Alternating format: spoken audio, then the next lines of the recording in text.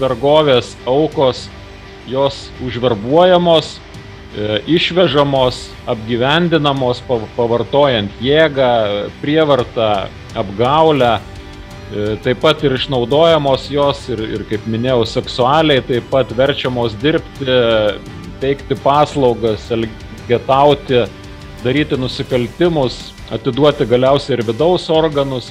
Kitaip tariant, mes iš teisinės pusės tai vadinam, na, iš tikrųjų, e, žmogaus teisų didžiausių pažeidimų ir nusikaltimų žmogaus laisvėje, orumui ir, ir, ir vientisumui. Dominuojančiom sritim visuomet e, pirmoji vietoje buvo seksualinis išnaudojimas, e, žiūrint pastaruosius metus, šiek tiek seksualinį išnaudojimą pradeda lenkti išnaudojama žmonių nusikaltimų darimui. Taip, e, priverstinis darbas ar, ar, ar išnaudojimas priverstiniam darbui ar paslaugoms ir ypač e, vergiškom sąlygom žmonių. Taip pat žinoma ir seksualinis išnaudojimas, e, priverstinės santokos, elgetavimas, neteisėtas įvaikinimas. Tai vad sakyčiau pagrindinės tos rytis, kurios pastaruoju metu E, yra dominuojančios. Peterboras ar Peterboras, kur didelė e, lietuvių bendruomenė yra. Taip. Ir ten mes susidūrę su atvejais, kai, lietuviai lietuvius išnaudoja. Kitaip tariant, lietuvių grupuotė tenai veikianti išnaudoja savo tautiečius. Jeigu imt narkotikus, tai aišku, Airija, Šiaurės Airija dominuoja daugiau, buvo atvejis e, Britanijoje didžioje, vat, būtent tame pačiame Peterbore, kai lietuviai buvo e, sugalvoję, kad štai toj bendruomenė, kur daug lietuvių, atvežti tris policijos pareigūnus iš Lietuvos, kurie ten stebėtų situaciją ir aplinką būtent tame regione ir įtarus prekybo žmonėmis atvejį praneštų teisėjas saugai. Tai buvo toks atvejis, kada nustatytas buvo vaikinas, kuris atvyko į Didžiąją Britaniją pagal skelbimą, bet jis buvo užverbuotas daryti e, tą nusikalstamą veiką susijusią su narkotikų auginimu ir platinimu. Tai šitoj vietoje tie policijos pareigūnai lietuviai, kurie dirba neuniformuoti, jie atkreipė dėmesį į, į, į britų policininkų Taip, kad štai sako, mes žinom atvejį, kad tai jaunas žmogus, kuris vat užverbuotas tokiai veikai daryti. Na, atvyko policija labai greitai, gal valandos ar pusantros bėgyje, taip, e, na, sureagavo, tas, e, reiškia, auka potenciali buvo patalpinta į tam tikrą patalpą, taip, bet kol sulaukė tyrėjo, britų ir vertėjo, praėjo trys paros, kad jie plaustų. Kitaip tariant, jau Lietuvos policininkai suorganizavo tos aukos gelbėjimą savo jėgomis ir jis buvo apklaustas likus tik tai 3-4 valandom iki, iki skrydžio į Lietuvą. Tai yra, na, tas laiko tarpas jau jisai, na, pamiršo visą, ką, ką jis, ką jis e, patyrė. Jis pradėjo netgi meluoti, kad čia man nieko nėra, aš jokia neauka, aš pats ten, e, reiškia, į tą situaciją papuoliau. Kitaip Taip. tariant, na, praėjus tam laiko tarpui sunku tą žmogų identifikuoti kaip auką. Na ir va taip pavyzdys toks negeras, sakykime, kalbant apie bendradarbiavimą. Atpažinti tą prekeivį žmonėmis iš, iš išvaizdos ar elgesio ne visada gali. Taip ir ypač taip. Vat, merginos, moteris, kurios susivilioja, taip turėtų būti, būti atsargios. Sveiki visi, su jumis Andy Ray ir šiandienos mūsų tema - prekyba žmonėmis.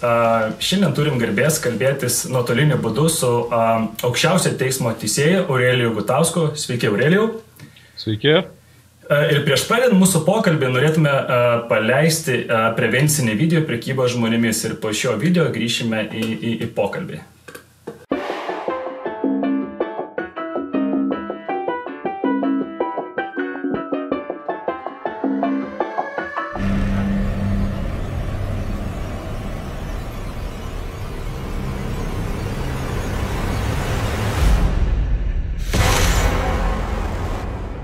Visame pasaulyje ir Lietuvoje kasmet prekybo žmonėmis aukomis tampa tūkstančiai žmonių. Beveik visada jie suviliojami lengvo gyvenimo pažadais.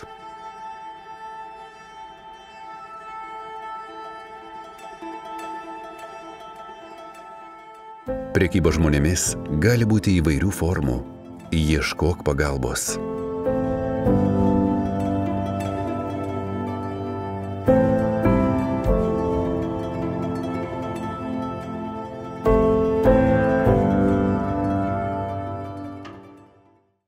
Grįžtume į pokalbį. Aurelio, priekyba žmonėmis e, tema yra visada aktuali mūsų visuomenė. Galbūt nėra pati uh, mėgstamiausia, bet apie ją reikia kalbėti, uh, reikia šviesti žmonės, reikia dalintis informaciją, galbūt kažkam, kažkam tai yra labai svarbu ir gal kažko, kažkas tiesiog laukia to, žinot, spyrio, to pastumimo pradėti kalbėti, dalintis, nes vis dėlto ta tema yra kartais uždara kitų žmonių atžvilgių. Dar pačioj pokalbio pradžioje, Aurelio, aš norėčiau šiek tiek paliesti šiuolaikinę modernę vergystę. Tai kaip jie atrodo iš tikrųjų?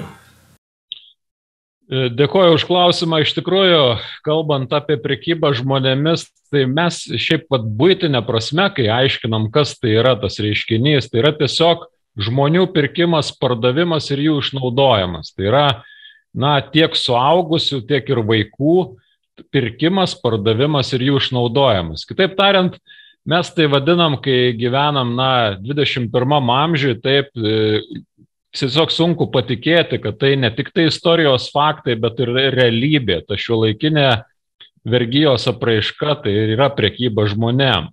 Na ir jeigu kalbėt apie e, tą vergyjos reiškinį šituo moderniuoju, sakykime, periodu, na, jis įgavęs yra keletą naujų pavydalų, bet na, pagrindinis bruožas visada išlieka, tai yra žmogaus laisvės suvaržymas.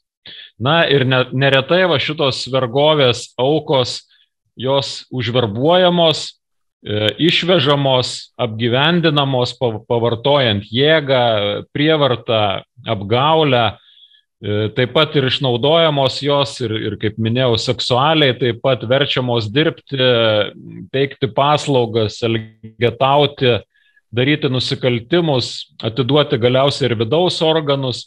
Kitaip tariant, mes iš teisinės pusės tai vadinam, na, iš tikrųjų, e, žmogaus teisų didžiausių pažeidimų ir nusikaltimų žmogaus laisvėje, orumui ir, ir, ir vientisumui.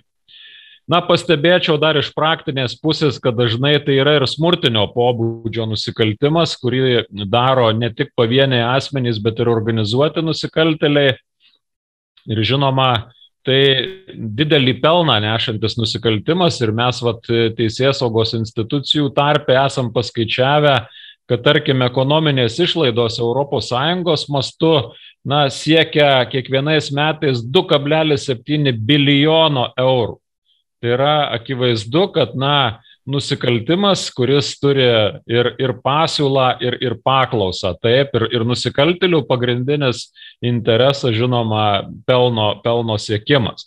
Netgi konkuruoja šitas nusikaltimas su narkotikų bizniu neteisėtų. Tai, tai rodo vat, jo pavojingumą ir, ir sakykime, tą pelno, pelno siekį. O šiaip dar yra toksai terminas Europoje, tai prekyba žmonėmis vadina euro nusikaltimu, kadangi jis neapsiriboja vienos valstybės teritorija, o yra tarp valstybinio masto sunkus nusikaltimas. Vat dažnai mes e, susidurėm su nusikaltimu prekybo žmonėmis, kuris neapsiriboja Lietuva, tarkim, taip, mes turime sąsajų ir su jungtinė e, karalystė, Didžiaja Britanija, kitomis šalimis, kur, kur nusikaltėliai veikia iš vien. O sakykit, Aurelio, šiek tiek palėtės pačias sritis, ne? Jeigu reikti, reikėtų sukonkretinti pačias sritis, e, į kurį dažniausiai būna nutaikyta prekyba žmonėmis, tai, tai kokios jos būtų? Taip, tai dominuojančiom sritim visuomet e, pirmoji vietoje buvo seksualinis išnaudojimas. E, žiūrint pastaruosius metus, šiek tiek seksualinį išnaudojimą pradeda lenkti išnaudojama žmonių nusikaltimų darimui. Taip, e, priverstinis darbas ar, ar, ar išnaudojimas priverstiniam darbui ar paslaugoms ir ypač e, vergiškom sąlygom žmonių, taip pat žinoma ir, seksualinis išnaudojimas, e, priverstinės santokos, elgetavimas, neteisėtas įvaikinimas. Tai vad sakyčiau pagrindinės tos rytis, kurios pastaruoju metu yra dominuojančios. Mhm. O, o paliečiant pačias nukentėjusias aukas, ar būtinai jos yra vežamas į užsienį? Čia mes susidurėm, ne, nebūtinai iš tikrųjų, na, mes turime sąsąją su prekyba žmonėmis ir šalies viduje, ir už šalies ribų. Taip, tai jeigu pirminius tokius etapus žiūrėti prekybo žmonėmis, tai visada buvo sąsajos tik tai žmonių vežimas į užsienį, bet dabartiniu metu mes matome, kad žmonės išnaudojami ir, ir, ir šalies viduje. Žinoma, keičiasi geografija. Jeigu, sakykime, anksčiau e, aukas iš Lietuvos veždavo ir, nu, dar, ir dabar pasitaiko atveju, kai veža į užsienio valstybės, tai pas mus atvyksta iš kitų šalių žmonės, kurie išnaudojami mūsų šalies viduje. Na, tarkime, mes turime daug atvejų su piliečiais, kurie išnaudojami atvykę iš Ukrainos, Baltarusijos, Rusijos federacijos, Turkijos. Turime atvejų ir su Kinijos piliečiais, kurie išnaudojami priverstiniam darbui dirbant e, restoranuose. Tik čia, žinot, toksai įdomus aspektas yra, kad asmenys dažnai patys išvyksta į užsienio valstybę ieškodami geresnio gyvenimo e, ir, ir tai daro jie dėl sunkios tos, sakykime, materialinės savo padėties o kartu išvykę neįvertina, kad, na, galbūt ir uždirbs daugiau ten užsienyje, taip, nei Lietuvoje, bet turės ir daugiau išlaidų ir, tarkim, na, jiems tik kažkas nepasiseka dėl darbo sąlygų, dėl, dėl užmokesčio ir, ir jie jau save, na, lik ir laiko prekybo žmonėmis aukomis. Tai vad reikia visada tokius atvejus e, atskirti, kai nėra to išnaudojimo fakto, nustatymo, mes juos negalim vadinti tokiomis aukomis. O šiaip tikrai sandoriai dėl žmonių išnaudojimo gali būti ir yra vykdomi tiek šalies viduje, tiek ir už, jo, už jos ribų. Mhm. O kaip vyksta pati kontrolė iš tikrųjų um, nukentėjusių šių žmonių, ne? Ar jie yra bauginami, ar jie yra tiesiog kažkaip, uh, mm, nežinau, priverstinai kontroliuojami, kad, kad tiesiog toliau vykdytų šios, šios visus negerus darbus? Ar prieš juos? Jo, praktiškai E, nusikaltėliai, kurie dirba su, va, kaip mes vadinam, su aukomis, kurios papuola į jūs pastus, jie stengiasi kontroliuoti kiekvieną auko žingsnį. Tai yra pradedant jos verbavimu ir galiausiai pardavimu. Kada parduodama auka jau konkrečiai ją išnaudojant, siekiant ją išnaudoti, taip pat jinai kontroliuojama. Ta kontrolė dažnai matosi būna na pilna, o būna kartais ir dalinė kontrolė, bet nepaisant to, tas kontroliavimas iš nusikaltelių pusės jis visada yra.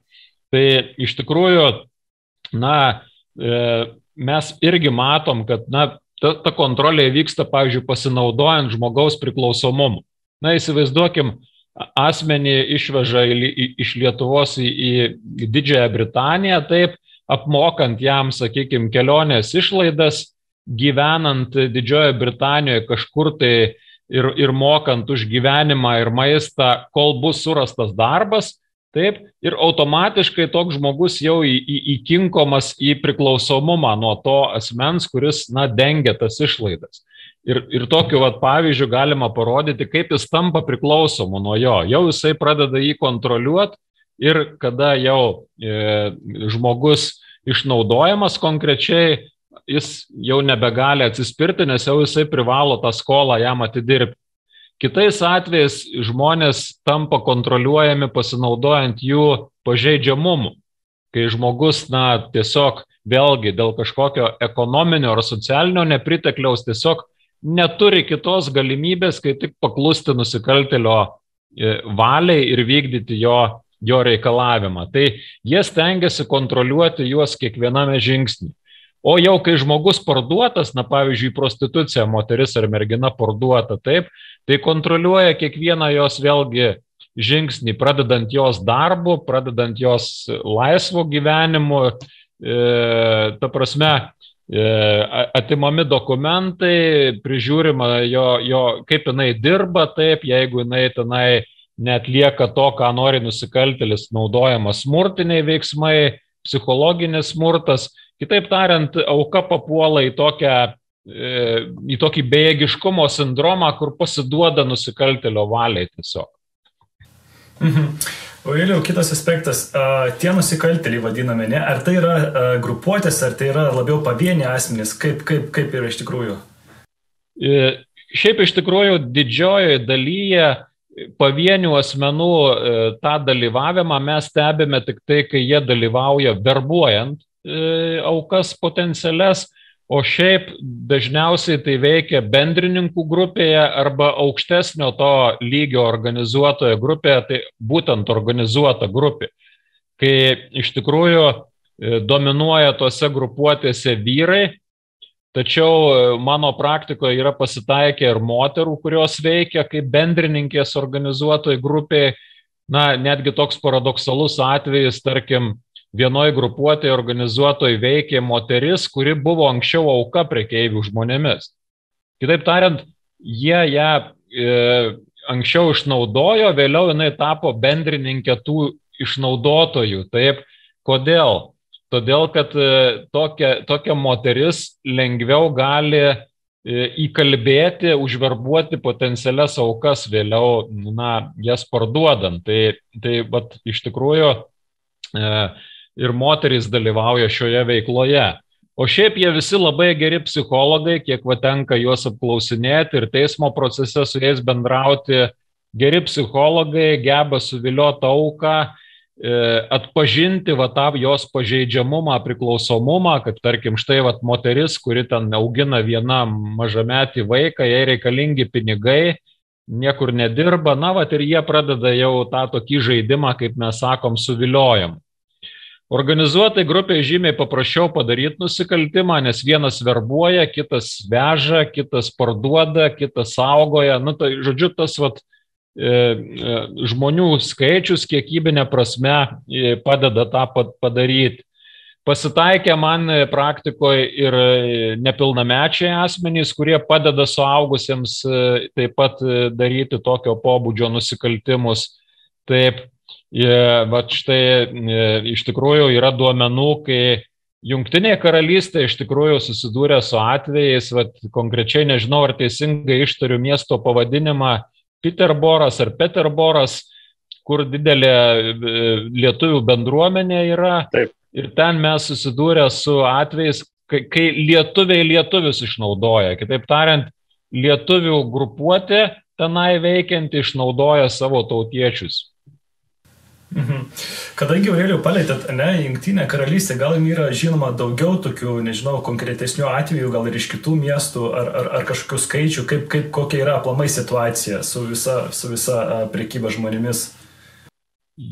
Jo, šiaip žiūrint Didžiąją Britaniją, mes žinom, dabar turime savo policijos atstovą, vat, e, e, Junktinėje karalystėje, bet uh, Šiaip iš tikrųjų statistika rodo, kad tokių bylų kaip ir yra mažėjimas Junktinėje karalystėje, bet vėlgi tie nusikaltimai yra latentiniai. Latentiniai reiškia, jie tokie užmaskuoti, kada auka nesikreipia, nes nežino, kad jis pats auka patapęs prekybo žmonėmis ir yra išnaudojamas E, kita vertus, e, dažnai naudojami grasinimai ir, ir gazdinimai tokių asmenų atžvilgių, dėl to jie nesikreipia pagalbos ir, ir, ir mes nežinom tų oficialių tokių atvejų. Žinoma, po breksito, e, na, tas atvykimas į šalį dabar apsunkintas, tos sąlygos apsunkintos ir vėlgi mes matom tendenciją vėlgi tokių ne, bandymų nelegaliai papulti ir įsidarbinti asmenų atžvilgių, kurie atvyksta į Didžiąją Britaniją. Taip, tai žinoma, šitie atvejai, kada tai nelegaliai daroma, ne, neišnaudojant juos, jie nepapuls į tą prekybo žmonėmis rytį. Daug padirbtų dokumentų lietuviškų Didžiojoje Britanijoje, būtent ID asmenų, taip, nelegalių, mirusių žmonių panaudojami dokumentai, E, bet šiaip, e, ką mes matom? Mes matom, kad šiuo metu, sakykime, na, populiariausios išnaudojimo formos Didžiojoje Britanijoje tai išnaudojimas žmonių darbui vergiškomis sąlygomis, tai dažniausiai žemės ūkis. Štai ir mes dabar teisme turime tą vadinamą vištų gaudytojų bylą, kur žmonės buvo išnaudoti. Ten yra trys įtariamieji ir dešimt nukentėjusiųjų asmenų populiari ganėtinai anksčiau buvo, dabar šiek tiek mažiau forma Didžiojoje Britanijoje, tai yra išnaudojamas fiktyvioms santokoms. Taip pat yra nemažai aukų ir nuteistų asmenų. Bet dabar tokia, vat, kaip mes sakom, ant bangos yra forma, tai išnaudojamas žmonių nusikalstamoms veikoms daryti. Tai yra konkrečiai narkoti, narkotikų auginimas ir vėliau jų platinimas. Tiek, tiek e, augalinės kilmės, tiek ir sintetinių narkotikų. Taip. Ir štai šiuo metu netgi mes tyriam vieną nusikalstamą susivienimą, netgi aukštesnės formos negu organizuota grupė, grupuotė, taip, kur, kur iš tikrųjų yra net 21 įtariamasis grupuotės narys ir 50 nukentėjusių asmenų, kurie buvo išnaudoti būtent tokiai e, formai, būtent narkotikų auginimui ir platinimui. Na, pasitaikanti dar forma įdomi sukčiavimai siekiant socialinių išmokų, kai žmonės išnaudojami, na, apsimesti kitais žmonėmis ir, ir, ir apgauti valstybę, taip gauti iš jos įvairiausius bonusus socialiniam išmokom. Ir, na, daugiausia nusikaltėliai yra lietuviai, kurie veikia kartu su Britais, ir, ir, ir, o aukos visi lietuviai e, išnaudojimo bylose. Jeigu žiūrėti į fiktyvę santokas, tai, tai dažniausiai Londonas ir aplink jį esantis priemiešiai dominuoja. Išnaudojamas priverstiniam darbui, galima sakyti, kad praktiškai visa Jungtinės karalystės teritorija, bet pagrindinis yra irgi, nežinau, ar teisingai ištarsiu, Maidstonas miestas, jo, kuris jo, jo. yra Kento grafystė berots.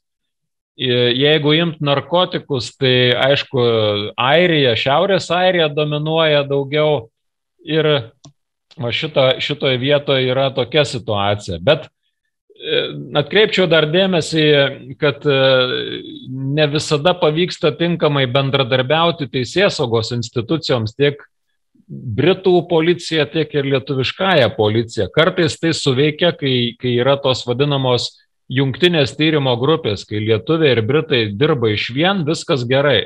Bet kartais mes susidurėm su problema, na pavyzdžiui, buvo atvejis e, Britanijoje didžioje, vad būtent tame pačiame Peterbore, kai lietuviai buvo e, sugalvoję, kad štai toj bendruomenė, kur daug lietuvių, atvežti tris policijos pareigūnus iš Lietuvos, kurie ten stebėtų situaciją ir aplinką būtent tame regione ir įtarus prekybo žmonėmis atvejai praneštų teisės saugai.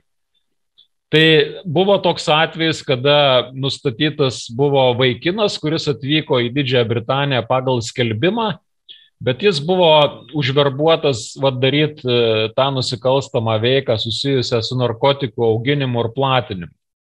Tai šitoje vietoje tie policijos pareigūnai lietuviai, kurie dirba neuniformuoti, jie atkreipė dėmesį į, į Britų policininkų, taip, kad štai sako, mes žinom atvejį, kad tai jaunas žmogus, kuris vat užverbuotas tokiai veikai daryti.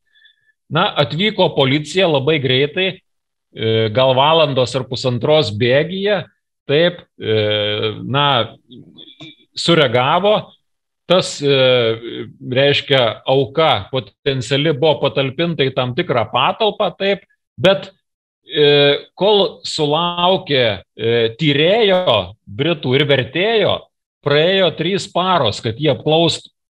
Kitaip tariant, jau Lietuvos policininkai suorganizavo tos aukos gelbėjimą savo jėgomis ir jis buvo apklaustas likus tik tai 3-4 valandom iki, iki skrydžio į Lietuvą. Tai yra, na, tas laiko tarpas jau jisai, na, pamiršo visą, ką, ką jis, ką jis patyrė. Jis pradėjo netgi meluoti, kad čia man nieko nėra, aš jokia neauka, aš pats ten, reiškia, į tą situaciją papuoliau. Kitaip Taip. tariant, na, praėjus tam laiko tarpui sunku tą žmogų identifikuoti kaip auką. Na ir va taip pavyzdys toks negeras, sakykime, kalbant apie bendradarbiavimą.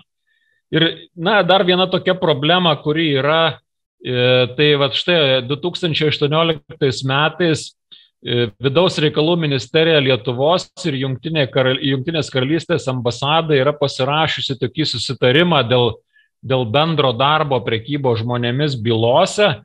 bet vėlgi pastebėčiau, kad realių veiksmų nebuvo imtasi. Vat, nuo, nuo 2018 metų to, to bendradarbiavimas popierinis liko. Tiesiog, na, pažadas dirbti iš vien kartu, bet, bet dėja kol kas realių kažkokių rezultatų mes, mes nematom. Tai vat, štai va tokia patirtis susijusi su, su, su ta situacija Junktinėje karalystėje. Mhm. Aurelio, paminėjot bendradarbiavimą, ne, vat, vat, paskutinį va, momentą, ne, nuo 18 metų sakėt, kaip galvojate, ar čia gali būti tiesiog uh, šalių nesusikalbėjimas, ar čia tiesiog gimtinės karalystės kažkokios teisės sakos spragos, kodėl realių kažkokių veiksmų taip ir nebuvo atlikta, jeigu buvo, berots minėjot, kad nuo 18 metų jo pasirašyta sutartis bendradarbiavimo. Na, čia va pastebėčiau, kad pati Didžioji Britanija, jinai nuolatos pabrėžia kovos su priekyba žmonėmis svarbą kaip vieną iš prioritetinių krypčių, bet e, na, va, pastarieji metai rodo, kad tai tik tai va, tas toksai prezumavimas, kad mes na, norim kovoti, iš tikrųjų na, nematytų realių rezultatų. Tai aš e, tikėčiau ir noriu tikėti, kad štai va, ir atsiradus policijos Lietuvos atstovai Didžiojoje Britanijoje, kiek žinau, Pernavas jau inicijavęs yra šią iniciatyvą vėl e, dėl, dėl, dėl šito susitarimo. Aš manau, kad e, situacija pasikeis į gerąją pusę dėl bendradarbiavimo. Noriu tuo tikėti. Ir šiaip patys mūsų lietuviai pareigūnai, tiek, tiek prokurorai, tiek tyrėjai, tiek ir teismai atkreipia dėmesį, kad kai yra tos jungtinės darbo grupės, E, tyrimo, taip, bendros. Tai viskas veikia gerai, viskas tvarkoje. E, šiek tiek e, prašiau veikia, kai, kai pavieniai kažkokie atvejai yra, o šiaip na, labai skundžiasi darbu su airių policija. Su, su Airija yra na, dideliai iššūkiai, kurie, na, iš tikrųjų, jie vadina košmarišką situaciją, netgi mūsiškiai teisės saugos atstovai, kad, nu, neįmanoma su jais rasti bendros kalbos. Nu tai vėlgi tam tikri kliuviniai sėkmingai ištirti prekybo žmonėmis atvejus. Mhm. Kalbant toliau apie kelio iškritimą šitiems visiems nusikaltimams, ne, Aureliau, kas yra konkrečiai daroma šiai dienai, kad, kad, kad užkirsti kelią visiems šitiems nusikaltimus, nebūtinai UK, bet ap, apskritai? Jo, tai čia iš tikrųjų, na, Šiaip Lietuva šiuo atveju pasižymė šitoje terpėje kovoj su prekyba žmonėmis, nes e, aš pats vat, pirmą kartą esu išrinktas nuo Lietuvos į tokią e, ekspertų grupę Greta, kuri prižiūri konvencijos kovos su prekyba žmonėmis taikymą visoje, visoje ne tik tai Europos Sąjungoje, bet ir kitose valstybėse. Taip, tai čia e, mes matom, kad štai Lietuva atitinka visus tos reikalavimus, kurie ir keliami būtini kovai su prekyba žmonėmis ir, ir, ir ką Lietuva kaip pavyzdžiui kitoms valstybėms rodoma kaip, kaip kovojanti su prekyba žmonėmis, kad pavyzdžiui, vat ir visi prekeiviai žmonėmis neišvengia realių laisvės atimimo bausmių. Tai yra jie nuteisiami e, įkalinimo bausmėmis visi. Tai, na, kaip pavyzdys, gerasis, sakykim, taip, mūsų teisės saugos institucijos išmokė tirti tokius atvejus. Tai yra atpažinti prekybą žmonėmis, specializuojasi tyrėjai, prokurorai, teisėjai. Pavyzdžiui, teisme aš kaip teisėjas taip pat specializuojuosi šiuose bylose. Tai kaip vėlgi privalumas, nes mes visi žinom tą nusikaltimą. Mes žinom, kaip jį ištirti, žinom, kur slypi tie raktiniai, sakykime, elementai šito nusikaltimo ir dėl to tas sėkmingas ir, ir, ir tyrimas baigėsi tuo. Be to, na, kelia pareigūnai kvalifikaciją, nuolatos vykdomi mokymai, įvairūs pasikeitimai, informacija, taip, ir, ir, ir tai labai, labai svarbu. E, Be to, dar vienas iš tokių pastebėjimų, kad generaliniai prokuratūroje yra parengtos rekomendacijos tyrėjams, kaip tirti nusikaltimus. Tai jie turi tam tikrą algoritmą, kuris vėlgi labai efektyvus ir palengvina jų darbą. Na, galiausiai prevencinis darbas, švietėjiška veikla, žiniasklaidos vaidmuo, kurie irgi prisideda prie sėkmingos kovos su prekyba žmonėmis. Mhm. Kalbant toliau apie nukentėjusias aukas, ne, su prekyba žmonėmis, kas toliau, tarkim, jeigu aukai pavyksta pabėgti, kur kreiptis, kur ieškoti pagalbos, galų, galų, galų galiai kurios durys belstis?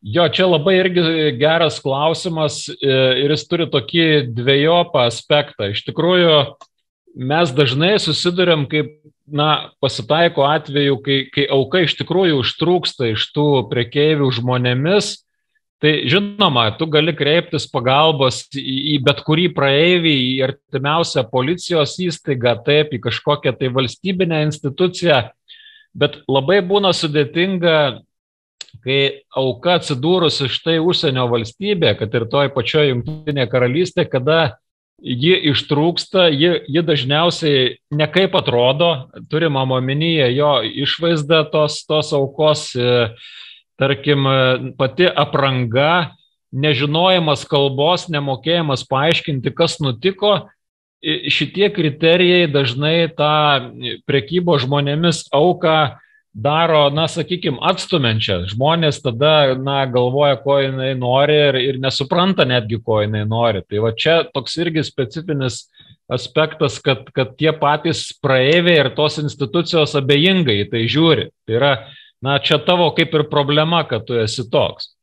Bet e, šiaip, jeigu iš tikrųjų pavyksta e, ištrūkti, tai žinoma, e, yra daugybė e, institucijų, kur, kur gali kreiptis nukentėjusysis taip ir, ir pas mus, pavyzdžiui, Lietuvoje labai efektyviai dirba na, kovos su priekyba žmonėmis ir išnaudojimo centras, kur, kur iš tikrųjų galima kreiptis pagalbos, jie turi ir telefoną, sakykime, kuris veikia, tas pagalbos telefonas visą parą, žinoma, į bet kurią policijos įstaigą artimiausią, į kriminalinę policiją, į karitą, į, į, į, į dingusių žmonių šeimos paramos centrą. E, bažnyčia taip, e, vėlgi, netgi vat, esu skaitęs, kad ir Junktinėje karalystėje galima, na, tiesiog eiti pas dvasininkus ir, ir, ir, ir pranešti apie tai, kas tau nutiko. Tai yra tų galimybių e, iš tikrųjų yra, yra įvairių. Bet jeigu vėl grįžti prie Junktinės karalystės, tai ten nėra šitoje šalyje, sakykime, tokios centralizuotos pagalbos sistemos. Tai vėlgi apsunkina, apsunkina tą pagalbos prašymą. Na, ten yra ta vadinama šventos morktos grupė, kur vėlgi yra galimybė, bet jau čia reikia žinoti, kur tu gali gauti tą, tą pagalbos ranką. Tai kas liečia pačią UK, tai tikriausiai pirminis ir, ir, ir tikri, tikriausias dalykas tai yra policija, nebijoti, bandyti kalbėti, jeigu iš tikrųjų kažkas yra nutikę, kad tiesiog ar, ar dėl kalbos barjero galų gale kažkaip bandyti bersis, prisibelsi, tiesiog, kad, tiesiog noras, tiesiog, kad pasakyti, kokia situacija, galbūt, kad gal, gal yra asmo žin, žinantis apie kitą asmenį, kuris tiesiog yra per prievartą kažkur laikomas blogomis sąlygomis. Žinoma, na, žinoma, tik tai toks e, atvejis gali pagelbėti. Na, jeigu, jeigu yra žmogus kažkiek supratingesnis, nepasimetęs, žinoma, ambasada, kur tu gali kreiptis į, į, į ambasadą, jos darbuotojus ir, ir prašyti pagalbos, bet policija tai, na, pagrindinis, kur, kur gali pasitikėti, taip, nes paprastai ištrūkę aukos jos būna išsigandę, pasimetę ir, ir panašiai, tai vienintelis, kuo gali pasikliauti, policija, kur, kur iš tikrųjų, na, tau suteiks tą pagalbą, bent pirminę kažkokią. Taip, apsaugos ir, ir, tuo metu. Būtent ir dar kas liečia Junktinę karalystę, kaip teko bendrauti pačiu Lino Parnavu, policijos atašė, jis netgi yra pabrėžęs, kad ir su juo galima kažkaip bandyti kontaktuoti ar, ar, ar, ar, ar, ar bandyti ieškoti kontaktą, nes tikrai padės, ko galės sakė. Žinoma, tai va. tai va čia toks variantas, kuris, nu, tikrai įsigelbėjimas, bet iki to dar reikia prieiti, žinot, kas tas atašė ir panašiai. Taip. Tai va tam tos aukos, žinot, jos būna E, turint menką įsilavinimą, na jau sakiau, kalbos nežino, tai jos iš vis, jis tiesiog ištrūkęs į tą laisvę, jis net nežino, į kurią pusę jam eiti. Būtent, kas tai, būtų, čia, kas yra liūdniausia. Taip, tas liūdna. Mhm. Aurelio, judant prie pabaigos iš tikrųjų mūsų pokalbio, jūsų nuomonė, kaip kiekvienas galėtų prisidėti ne, prie šito reikalo, prekybo žmonėmis, kaip viešint, kaip tiesiog, nežinau, skatinti kitus žmonės nebijoti kalbėti, jeigu tiesiog turi kažkokios informacijos, kaip, kaip galėtume kiekvienas iš mūsų prisidėti.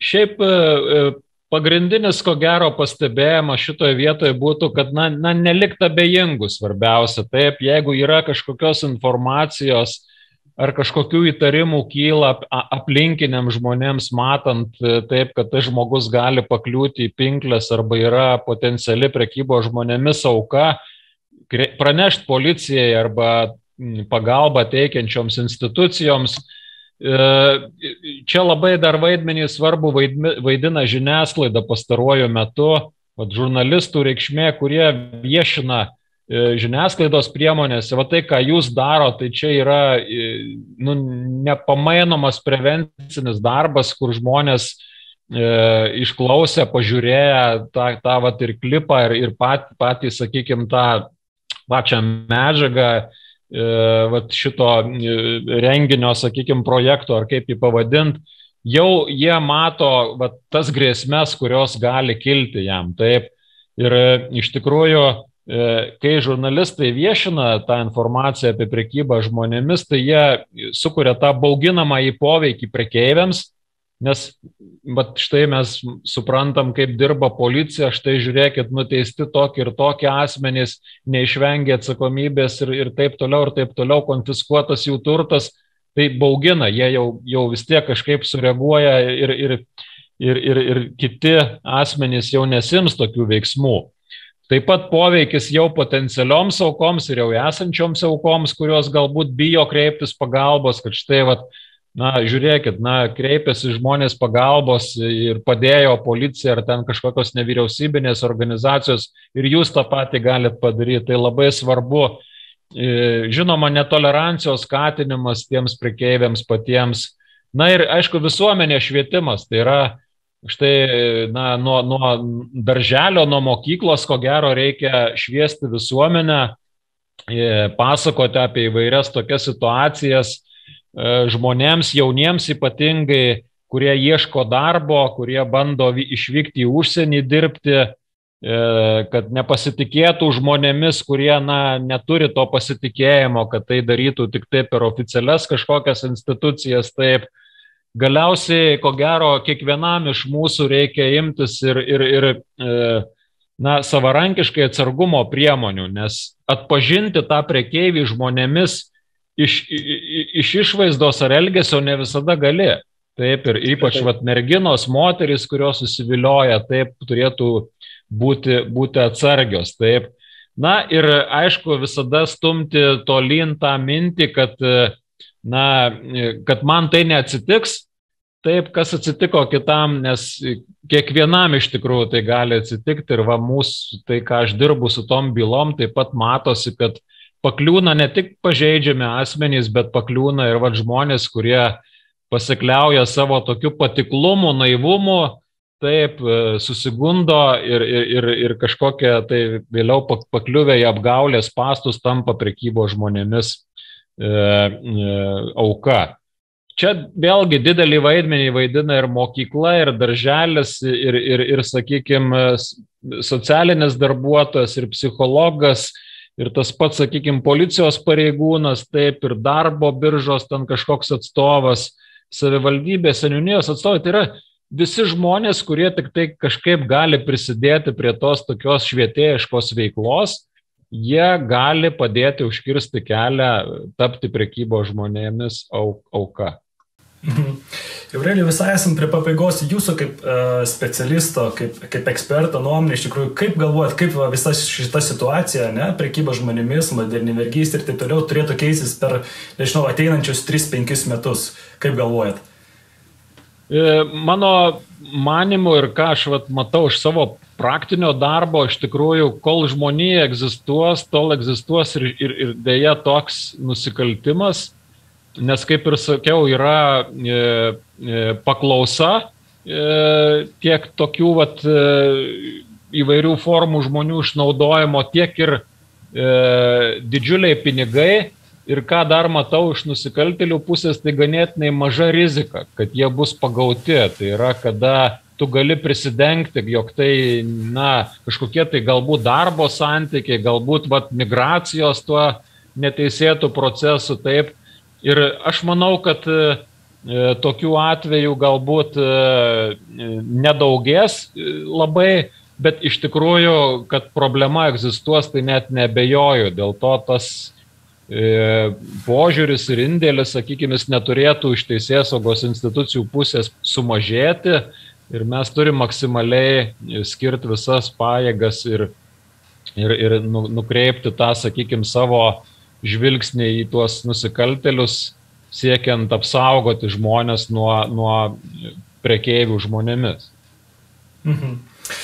Tai kągi, Aurelio, ačiū Jums, iš tikrųjų buvo labai smagu išgirsti Jūsų nuomonę, Jūsų pamastymus, Jūsų mintis kaip eksperto specialistų, nes dirbat, su, dirba, dirbat ir dirbat prieš tai su daugybė bylų, iš tikrųjų tikimės, kad uh, galbūt šis video prisidės kažkiek uh, prie visų dalykų sustabdymų, iškirtimų kelių blog, blog, blog, blogams dalykams. Galbūt kažkas pažiūrės šitą video ir e, priims sprendimą, galbūt kažkaip, kažkaip ryštis tą žingsnį, galbūt žino, kaip ir minėjom prieš tai, kažkokį atvejį, kada žmogui reikia kitam pagalbos ir toliau, tai toliau. Tai va, būtent ir tikimės, kad šitas video prisidės prie šitos, nežinau, geranoriškos, švietėjiškos nežinau, programos dalies. Tai ačiū Jums dar kartą, Aureliu, ir aš tik tai priminsiu, kas būtinai žiūrėsit šitą video, nelikite abejingi, pasidalinkit, galbūt kažkam padėsit ir, ir išgelbėsit kitus. Ačiū Jums, ačiū Aureliu, iki pasimatymo.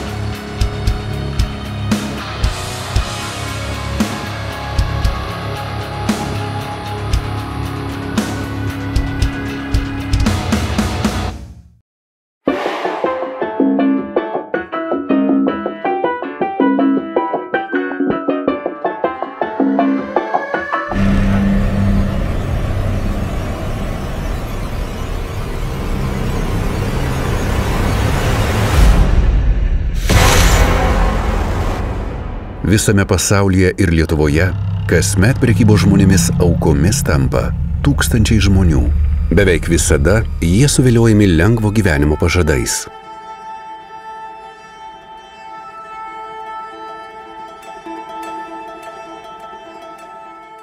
Prekyba žmonėmis gali būti įvairių formų. Ieškok pagalbos. thank you